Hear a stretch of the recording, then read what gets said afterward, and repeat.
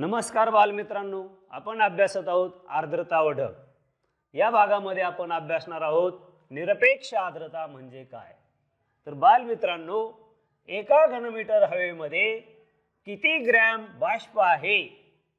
त्यावरून त्या हवेची निरपेक्ष आर्द्रता काढली जाते.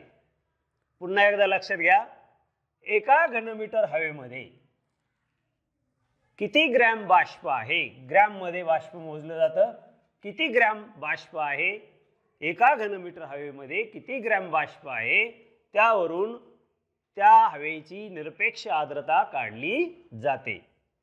उदाहरणार्थ सागरी भागात निरपेक्ष आर्द्रता ही भूभागावरील हवेपेक्षा अधिक असते. तसेच विषुववृत्तीय प्रदेशात निरपेक्ष आर्द्रता जास्त असते. आणि त्या मानाने ध्रुवाकडे जसं जसं आपण ध्रुवाकडे जाऊ तस तशी निरपेक्ष आर्द्रता त्या ठिकाणी कमी कमी होत जाते.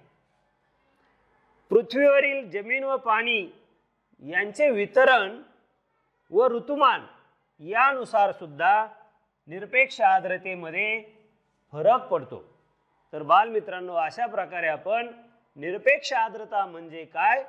तर निरपेक्ष आर्द्रता म्हणजेच एक घनमीटर हवेमध्ये किती ग्रॅम बाष्प आहे त्यावरून निरपेक्ष आर्द्रता काढली जाते हे या ठिकाणी आपण अभ्यासलं.